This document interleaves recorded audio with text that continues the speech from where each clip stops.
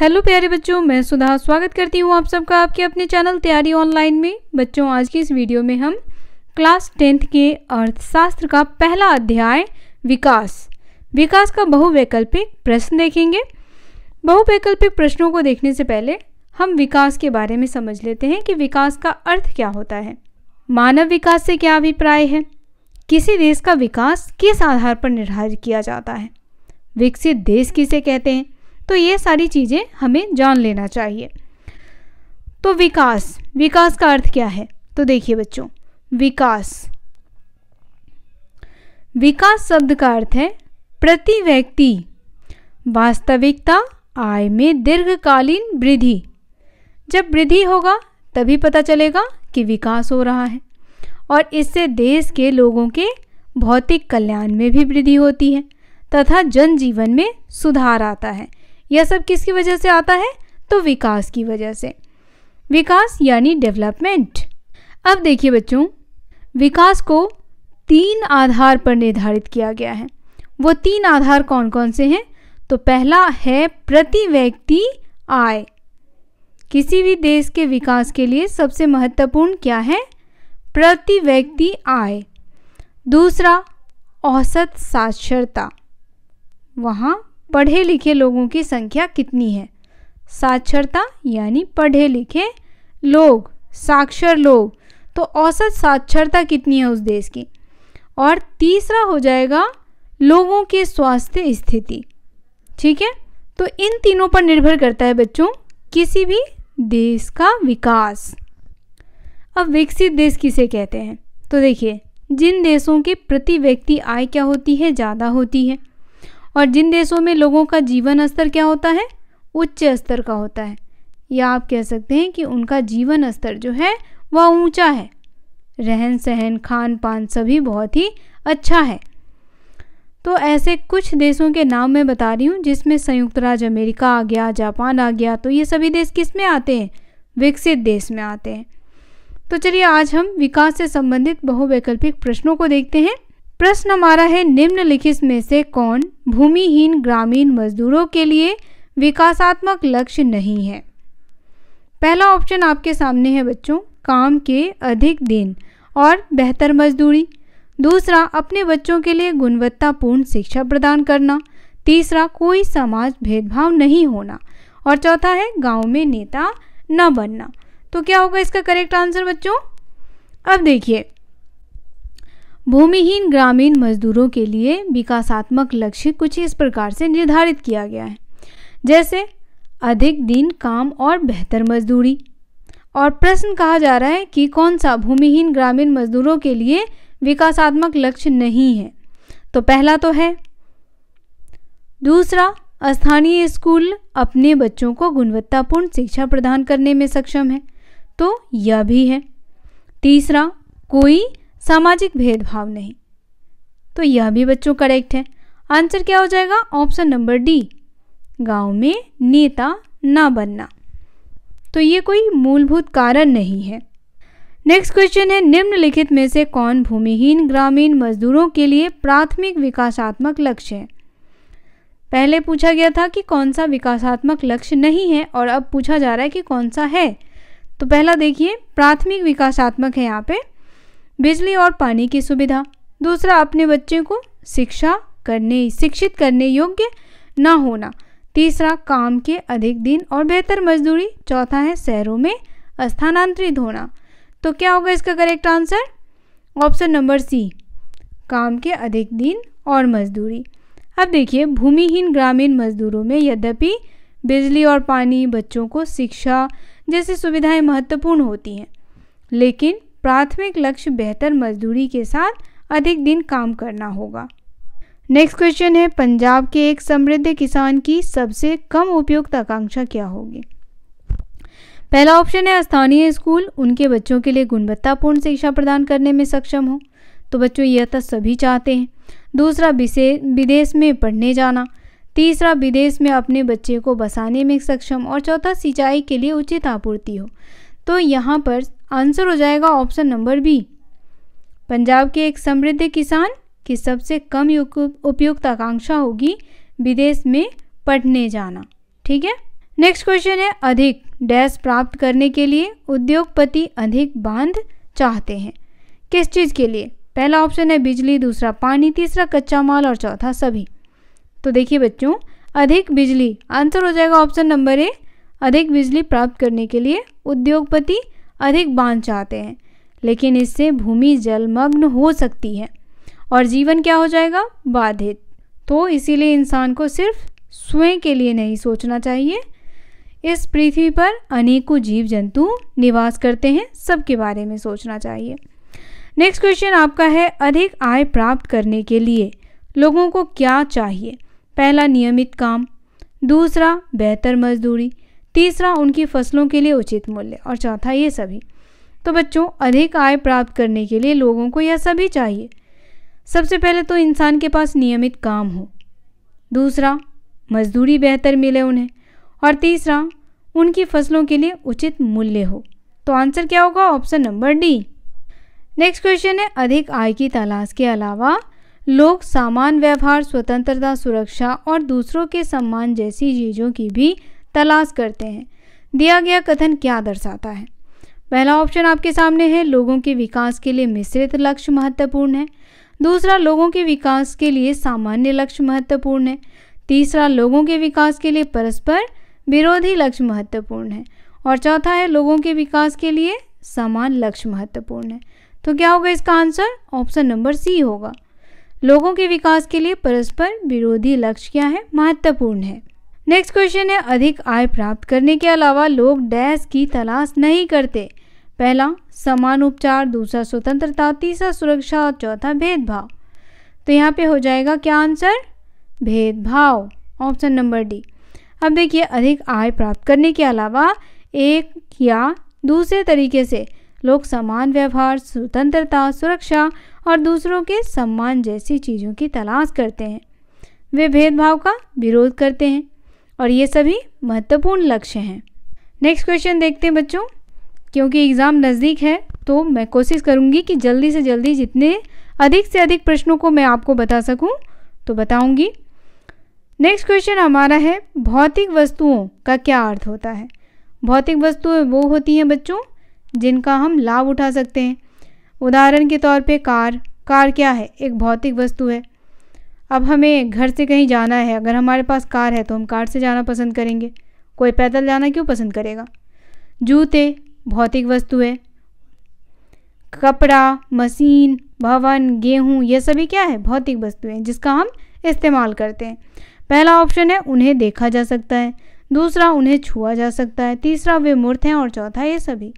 तो क्या होगा इसका correct answer option number D ये वे सभी हैं। नेक्स्ट क्वेश्चन है, वह कौन सा कारक है जिस पर मानव जीवन निर्भर करता है? पहला भौतिक चीज़ें, दूसरा गैर भौतिक चीज़ें, तीसरा इन दोनों और चौथा इनमें से कोई नहीं। तो देखिए बच्चों आंसर हो जाएगा ऑप्शन नंबर सी वो भौतिक चीज़ें भी हैं और गैर भौतिक चीज़ें भी हैं, जिस पर मानव जीवन निर्भर करता है। अब भौतिक चीज़ों में कौन कौन चीज़ें आती हैं? तो जिसका हम उपयोग करते हैं, जैसे कि कार, क्या हो गया? भौतिक चीज़ें, धन, क्या हो गया? भौतिक चीज़ें, ठीक है? कपड़ा, हम जो पहनते हैं वो भौतिक चीज़ें। उसके बाद आ जाता है गैर भौतिक चीज़ें। तो गैर भौतिक चीज़ों में कौन कौन सा आएगा? देखिए, स्वतंत्रता। स्वतंत्रता, ये आ गया गैर भौतिक में। सम्मान, सुरक्षा, भेदभाव, ये सभी क्या है? गैर भौतिक चीज़ें हैं। ठीक है? नेक्स्ट क्वेश्चन है, ऐसी कई चीज़ें हैं जिन्हें आसानी से डैश नहीं जा सकता। लेकिन वे हमारे जीवन के लिए बहुत मायने रखती हैं। ये अक्सर डैश होते हैं। पहला माप, अनदेखी, दूसरा अनदेखा मापा, तीसरा है उपलब्ध, अनुपलब्ध और चौथा उपलब्ध और मापा।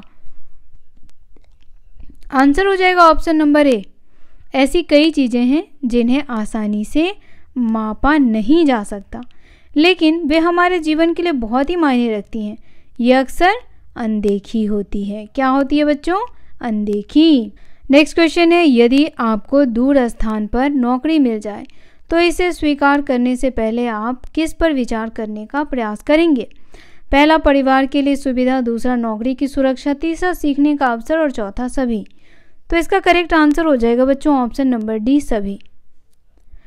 अब देखिए, किसी भी व्यक्ति को अगर घर से दूर किसी अन्य स्थान पर नौकरी मिलती है तो वह अपने परिवार की सुविधा के लिए सोचेगा। नौकरी की सुरक्षा के बारे में सोचेगा और उसे बहुत सारी चीज़ें जो हैं वो सीखने को मिलेगी। नेक्स्ट क्वेश्चन है, किस प्रकार का वातावरण अधिक महिलाओं को विभिन्न प्रकार के कार्य करने में अनुमति दे सकता है? पहला, एक संरक्षित और सुरक्षित वातावरण। दूसरा, महिलाओं के लिए सम्मान। तीसरा, बाहर काम करने वाली महिलाओं को अधिक स्वीकृति और चौथा ये सभी। तो यहाँ पर पूछा जा रहा है कि किस प्रकार का वातावरण अधिक महिलाओं को विभिन्न प्रकार के कार्य करने की अनुमति देता है? तो आंसर हो जाएगा ऑप्शन नंबर डी। देखिए, एक संरक्षित और सुरक्षित वातावरण होना चाहिए। महिला का सम्मान होना चाहिए वह जिस जगह पे कार्य करती है। और बाहर काम करने वाली महिलाओं को अधिक स्वीकृति मिलनी चाहिए। तो आंसर हो जाएगा ऑप्शन नंबर डी, सभी। नेक्स्ट क्वेश्चन है, उस देश का चयन करें जहाँ 500 टन तरल जहरीले कचरे को खुले में डंप किया जाता है। तो वह देश कौन सा है बच्चों, जहाँ ये कार्य किया जाता है? पहला ऑप्शन है यूएसए दूसरा अफ्रीका, तीसरा जापान और चौथा है चीन। तो देखिए बच्चों, एक जहाज़ ने एक शहर और आसपास के समुद्र में 500 टन, कितना? 500 टन तरल जहरीले कचरे 500 टन तरल जहरीले कचरे को खुले में डाला है। तो यह अफ्रीका के एक देश आइबरी कोस्ट के आबिद जाम नामक शहर में हुआ है। तो देश का नाम हो जाएगा अफ्रीका, और यहाँ पर हम जगह का नाम भी लिख देते हैं, ताकि ये आपको याद रहे। तो देखिए, वह जगह कौन सा है? Ivory ivory coast. और आइवरी कोस्ट के अबिद जान, याद रखिएगा, आइवरी कोस्ट के अबिद जान नामक शहर में। अबिद जान क्या है? शहर है। नेक्स्ट क्वेश्चन जब हम विभिन्न छात्रों की तुलना करते हैं तो आमतौर पर हम छात्रों की एक या अधिक महत्वपूर्ण विशेषताओं को लेते हैं और इन विशेषताओं के आधार पर उनकी तुलना कर, करते हैं, जैसे कि मित्रता, सहयोग, अंक और ये सभी। तो क्या होगा बच्चों इसका correct answer option number D ये सभी। नेक्स्ट क्वेश्चन है देश की तुलना के लिए। उनकी डैश को सबसे महत्वपूर्ण विशेषताओं में से एक माना गया है। पहला है घर, दूसरा आय, तीसरा सोना और चौथा संपत्ति। तो देखिए, देश की तुलना के लिए उनकी आय ऑप्शन नंबर बी होगा यहाँ पे, को सबसे महत्वपूर्ण विशेषताओं में से एक माना जाता है। अब बच्चों, उच्च आय वाले देश जो हैं, वह कम आय वाले देश की तुलना में अधिक विकसित होते हैं। नेक्स्ट क्वेश्चन है, देश की आय, देश की डैश की आय है। पहला सभी मंत्रियों, दूसरा सभी निवासियों, तीसरा सभी पुरुषों और चौथा सभी महिलाओं। तो इसका करेक्ट आंसर हो जाएगा ऑप्शन नंबर बी सभी निवासियों। नेक्स्ट क्वेश्चन है, देश की कुल आय को उसकी कुल जनसंख्या से भाग देने पर क्या प्राप्त होता है या क्या कहा जाता है? पहला ऑप्शन प्रति व्यक्ति आय। दूसरा, औसत आय। तीसरा, दोनों और चौथा, कोई नहीं। तो क्या होगा इसका करेक्ट आंसर इसका करेक्ट आंसर होगा ऑप्शन नंबर ए प्रति व्यक्ति आय या औसत आय कहा जाता है, ठीक है?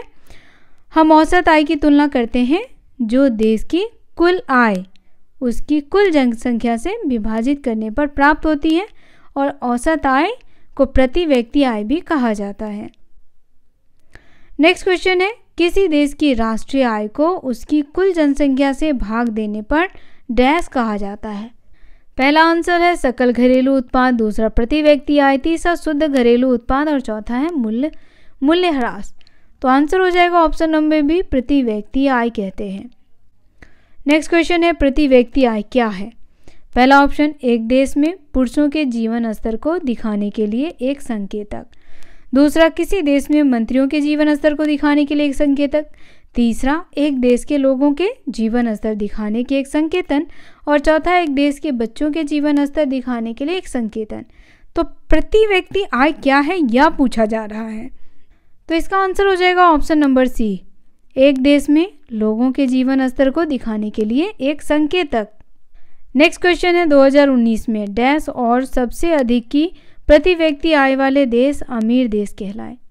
पहला ऑप्शन है US dollar forty nine thousand three hundred प्रति माह दूसरा US dollar forty nine thousand three hundred प्रति वर्ष तीसरा US dollar two thousand five hundred प्रति वर्ष और चौथा है यूएस डॉलर 2500 प्रति माह तो क्या होगा बच्चों इसका करेक्ट आंसर आंसर हो जाएगा ऑप्शन नंबर बी 2019 में यूएस डॉलर 49,300 प्रति वर्ष और उससे अधिक के प्रति व्यक्ति आय वाले देश अमीर देश कहलाते हैं। नेक्स्ट क्वेश्चन है 2019 में प्रति व्यक्ति आय डैश और उससे कम वाले देश कम आय वाले देश कहलाते हैं। क्या होगा इसका करेक्ट आंसर कमेंट करके बताएँ। पहला ऑप्शन है यूएस डॉलर 2500 प्रति वर्ष दूसरा यूएस डॉलर 49,300 प्रति वर्ष तीसरा यूएस डॉलर 49,300 प्रति वर्ष से ऊपर और चौथा यूएस डॉलर 49,300 प्रति वर्ष से कम। तो आंसर हो जाएगा बच्चों option number A US dollar 2,500 प्रति वर्ष। उससे कम वाले देश का आय होता है। किससे कम वाले देश? तो विकसित जो देश होते हैं उससे कम। नेक्स्ट क्वेश्चन है भारत डैश देशों की श्रेणी में आता है। क्योंकि 2019 में इसके प्रति व्यक्ति आय यूएस डॉलर 6,700 प्रति वर्ष थी। पहला कम आय वाला देश दूसरा मध्यम आय तीसरा अमीर देश और चौथा इनमें से कोई नहीं। तो क्या होगा इसका करेक्ट आंसर मध्यम आय को दर्शाता है बच्चों। आंसर हो जाएगा option number B next question है, मध्य पूर्व के देशों और कुछ अन्य छोटे देशों को छोड़कर अमीर देशों को आमतौर पर डैश कहा जाता है। क्या कहा जाता है बच्चों? अमीर देश को आमतौर पर क्या कहा जाता है? तो देखिए, मध्य पूर्व के देशों और कुछ अन्य छोटे देशों को छोड़ करके अमीर देशों को आमतौर पर विकसित देश कहा जाता है। आंसर हो जाएगा option number C. Next question है डैश। एक वर्ष से कम आयु के बच्चों के प्रति हज़ार जीवित जन्मों पर होने वाले मौतों की संख्या।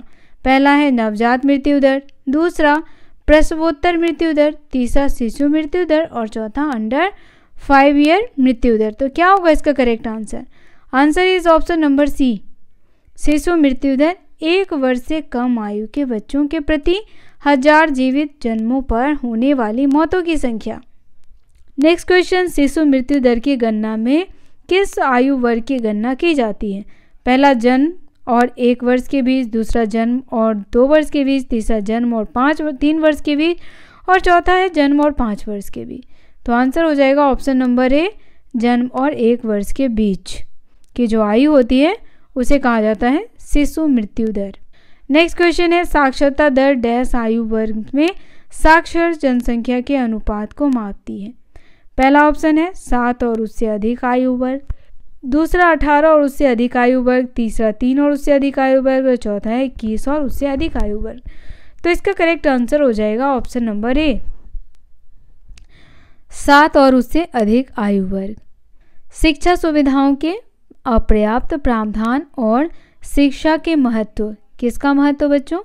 शिक्षा के महत्व के बारे में लोगों में जागरूकता की कमी के कारण अन्य देशों की तुलना में भारत में साक्षरता दर तुलनात्मक रूप से क्या है? कम है। नेक्स्ट क्वेश्चन निबल उपस्थित अनुपात से आप क्या समझते हैं? पहला, इसका तात्पर्य स्कूल में भाग लेने वाले छः से दस आयु वर्ष के बच्चे। दूसरा, इसका तात्पर्य स्कूल में भाग लेने वाले बारह से पंद्रह आयु वर्ग के बच्चों की कुल संख्या। तीसरा, इसका तात्पर्य स्कूल में भाग लेने वाले चौदह से पंद्रह आयु वर्ग के बच्चों की कुल संख्या। और चौथा है, इसका तात्पर्य है स्कूल में भाग लेने वाले सत्रह से उन्नीस वर्ष के बच्चों की कुल संख्या। तो क्या होगा इसका करेक्ट आंसर? आंसर हो जाएगा ऑप्शन नंबर सी, निवल उपस्थिति अनुपात पूछ रहा है। तो ये इसका तात्पर्य हो जाएगा चौदह से पंद्रह आयु वर्ग के बच्चों की कुल संख्या। यह क्या कहलाता है? निवल उपस्थिति अनुपात। नेक्स्ट क्वेश्चन है, आय के अलावा। कौन से कारक हमारे जीवन के महत्वपूर्ण पहलू हैं? पहला है प्रदूषण मुक्त वातावरण, दूसरा एक रूप मुक्त जीवन, तीसरा संक्रमण, रोग से सुरक्षा और चौथा है सभी। तो आंसर इसका हो जाएगा बच्चों ऑप्शन नंबर डी सभी। ओके तो यहाँ पे आय के अलावा पूछा गया था तो आंसर हो जाएगा ऑप्शन नंबर सभी। अब देखिए, पैसा जो है वह सब कुछ नहीं खरीद सकता। पैसा हमें प्रदूषण मुक्त वातावरण खरीद करके नहीं दे सकता। वह वह हमें रोग मुक्त जीवन नहीं दे सकता। है ना? नेक्स्ट क्वेश्चन है, भारत में ग्रामीण क्षेत्र में लड़कियाँ कभी कभी माध्यमिक स्तर की शिक्षा प्राप्त करने में सक्षम नहीं होती। निम्नलिखित में से कौन इस स्थिति का सही कारण है?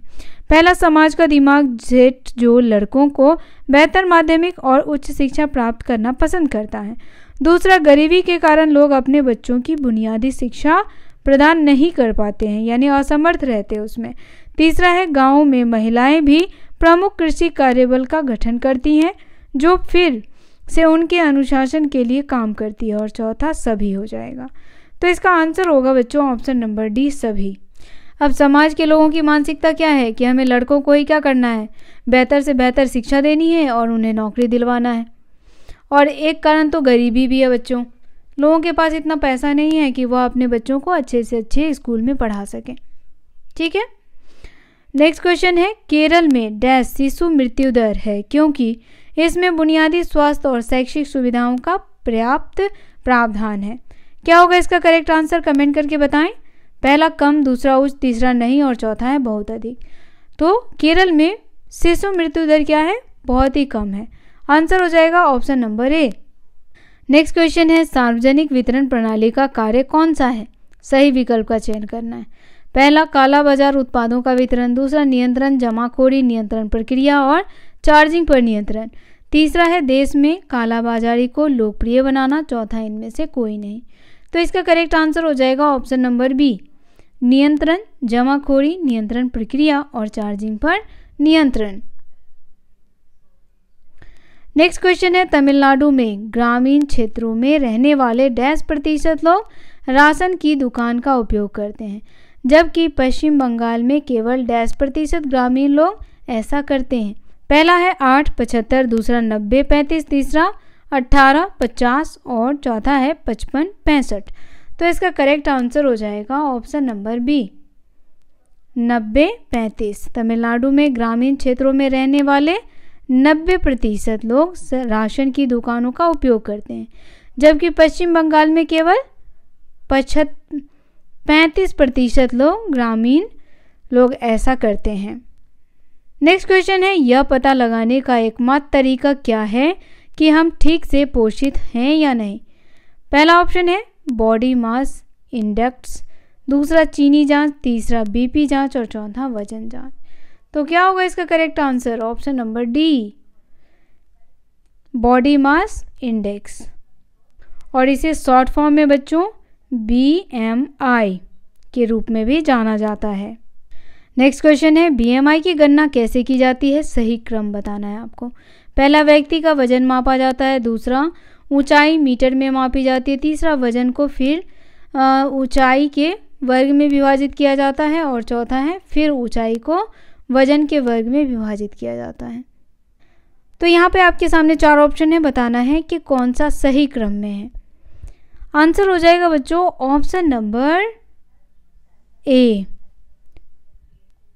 पहले, फिर, दूसरे, फिर तीसरा। ठीक है? नेक्स्ट क्वेश्चन है, यदि एक बीएमआई डैश से अधिक है तो व्यक्ति सामान्य वज़न का है। यदि यह आंकड़ा डैश से कम है तो व्यक्ति कुपोषित है। क्या हो जाएगा वो आंकड़ा? पहला आपके सामने ऑप्शन दिया है अट्ठारह दशमलव पाँच और बीस। दूसरा है पच्चीस, अठारह दशमलव पाँच। तीसरा अठारह दशमलव पाँच और पच्चीस। चौथा है बीस और अठारह दशमलव पाँच। तो क्या होगा इसका correct answer option number B पच्चीस और अट्ठारह दशमलव पाँच। नेक्स्ट क्वेश्चन है डैश द्वारा प्रकाशित। मानव विकास रिपोर्ट लोगों के शैक्षिक स्तर, उनकी स्वास्थ्य स्थिति और प्रति व्यक्ति आय के आधार पर देशों की तुलना करती है। पहला है आईएमएफ दूसरा यूएनडीपी तीसरा यूनेस्को और चौथा यूएनडीपी तो क्या होगा इसका correct answer option number B UNDP अब देखिए बच्चों यूएनडीपी द्वारा प्रकाशित मानव विकास रिपोर्ट। कौन सा रिपोर्ट? मानव विकास रिपोर्ट। लोगों की शैक्षिक स्तर, उनकी स्वास्थ्य स्थिति और प्रति व्यक्ति आय के आधार पर देशों की तुलना करती है। नेक्स्ट क्वेश्चन है यूएनडीपी द्वारा प्रकाशित देशों की तुलना लोगों के डैश के आधार पर देशों की तुलना करता है। पहला, स्वास्थ्य की स्थिति, दूसरा, शैक्षिक स्तर, तीसरा, प्रति व्यक्ति आय और चौथा है ये सभी। तो क्या हो जाएगा इसका आंसर बच्चों? आंसर हो जाएगा ऑप्शन नंबर डी, ये सभी। नेक्स्ट क्वेश्चन है, विश्व के एक सौ नवासी देशों में भारतीय का मानव विकास सूचकांक एच डी आई रैंक क्या है? पहला ऑप्शन है 212 दूसरा एक सौ नवासी, तीसरा एक सौ इकतीस और चौथा है 314 तो इसका करेक्ट आंसर होगा ऑप्शन नंबर बी, एक सौ नवासी। नेक्स्ट क्वेश्चन है बच्चों, मानव विकास सूचकांक एच डी आई में कितने देशों को स्थान दिया गया? पहला 212 देश, दूसरा एक सौ नवासी, तीसरा तीन सौ चौदह और चौथा आठ सौ नवासी। तो क्या होगा बच्चों, इसका करेक्ट आंसर फटाफट कमेंट करके बताएँ, इसका करेक्ट आंसर क्या होना चाहिए। अभी अभी आपको इसके बारे में बताया है तो मुझे आशा है कि आप इसका आंसर ज़रूर जानते होंगे।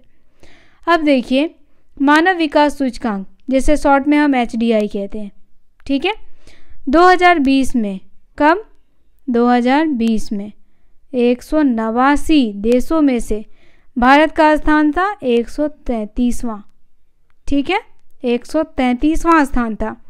तो यहाँ पे क्या हो जाएगा आंसर? ऑप्शन नंबर बी, एक सौ नवासी देश।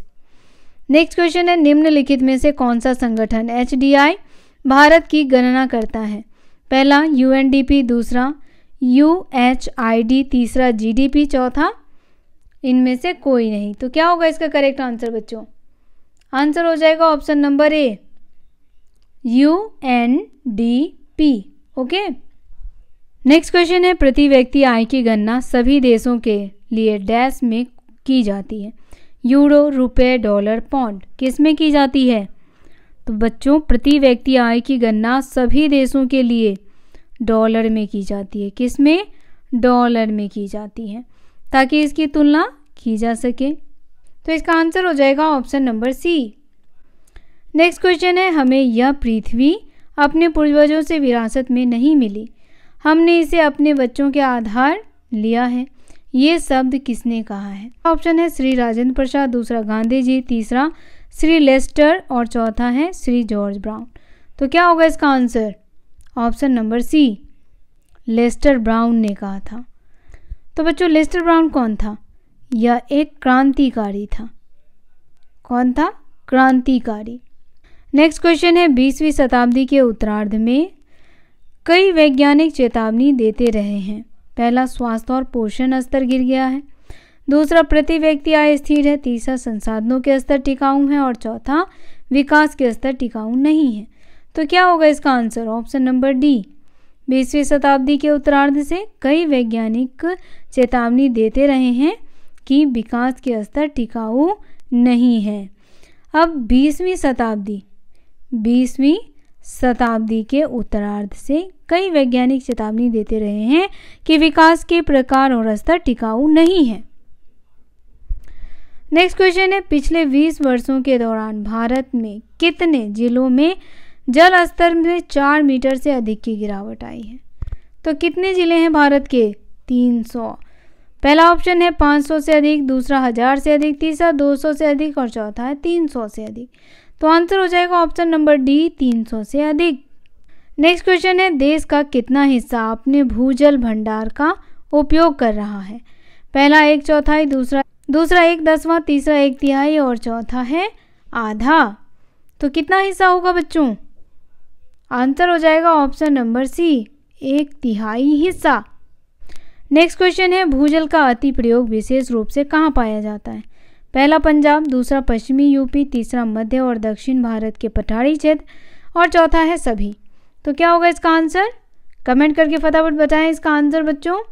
अब देखिए, भूजल का अत्यधिक उपयोग विशेष रूप से पंजाब कहाँ पंजाब और पश्चिम Uttar Pradesh, UP.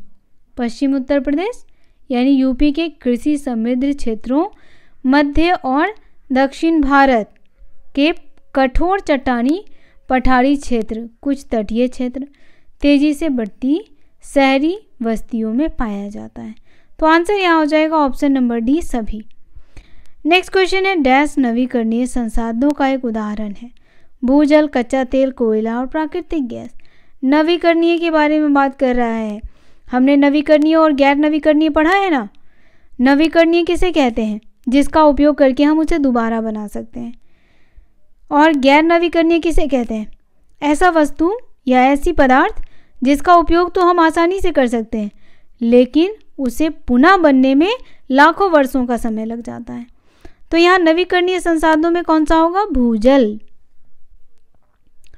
Next question है, पर्यावरण क्षरण के परिणाम राष्ट्रीय या राज्य की सीमाओं का सम्मान नहीं करते। निम्नलिखित में से कौन सा कथन इस कथन की पुष्टि नहीं करता है?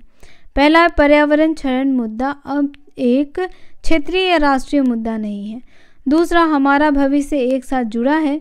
सभी मानव जाति के विकास की स्थिरता आवश्यक है और पर्यावरण से बचाने की हमारी सामान्य ज़िम्मेदारी है। तीसरा है इन देशों। तीसरा है इन दिनों विदेश में, विभिन्न देशों में यह चर्चा का विषय है। चौथा, ग्लोबल वार्मिंग, एसिड, रेन इत्यादि को एक राष्ट्र द्वारा नियंत्रित किया जाता है। यह सोच और समाधान खोजने का निजी मामला है। क्या होगा इसका करेक्ट आंसर बच्चों? ऑप्शन नंबर डी होगा। नेक्स्ट क्वेश्चन है, किसी देश का विकास सामान्यतः किसके द्वारा निर्धारित किया जाता है? पहला है, प्रति व्यक्ति आय, दूसरा, इसका औसत साक्षरता, तीसरा, अपने लोगों के स्वास्थ्य और चौथा, सभी। तो आंसर हो जाएगा ऑप्शन नंबर डी, सभी। प्रति व्यक्ति आय पर भी करता है, औसत साक्षरता पर लोगों के स्वास्थ्य की स्थिति पर। नेक्स्ट क्वेश्चन होगा, भारत में मानव विकास सूचकांक, एसडीआई के स्तर में डैश के माध्यम से सुधार नहीं किया जा सकता। पहला, गुणवत्ता शिक्षा बढ़ाकर। दूसरा, अच्छी स्वास्थ्य देखभाल सुविधाएँ बढ़ाकर। तीसरा आईएमआर बढ़ाकर और चौथा शुद्ध उपस्थिति अनुपात बढ़ाकर। तो क्या होगा इसका करेक्ट आंसर इसका करेक्ट आंसर होगा बच्चों option number C I M R बढ़ाकर।